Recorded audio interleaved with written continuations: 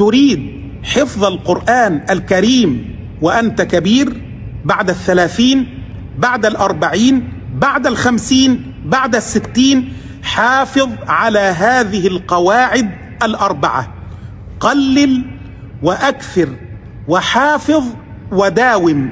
قلل من المقدار وأكثر من التكرار وحافظ على الاستمرار وداوم على الاستغفار.